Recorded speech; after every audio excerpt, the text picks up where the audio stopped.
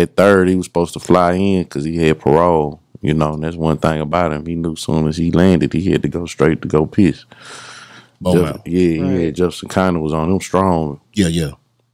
So when he didn't, I didn't think that deep. You know, that's the 23 year old me. I'm not thinking that deep. Well, he ain't answering the phone. Nobody talked to him that day. I'm not thinking the worst. Yeah. I you know, I'm just staying busy. I'm keep working for when he do pop up and shit. Mm. I got that phone call. That shit was detrimental, bro. That shit was a, a gut punch. Actually, I, I remember driving down the alley, stopping in the alley, crying in the alley. You know, the worst part about it is how it came out because they try to do it like he was. They always trying to push this goddamn drink shit. Yes.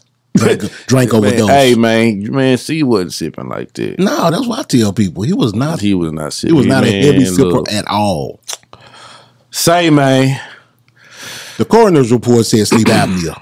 Yeah, that you know, but it's that happened in Hollywood. Yes. everything in Hollywood got a price. Yeah, yeah. So, you know, with Mm. that being said, Could have been something else, but nah, you know, everything in Hollywood got a price. Hollywood, it's Hollywood. You could buy shit. Yeah.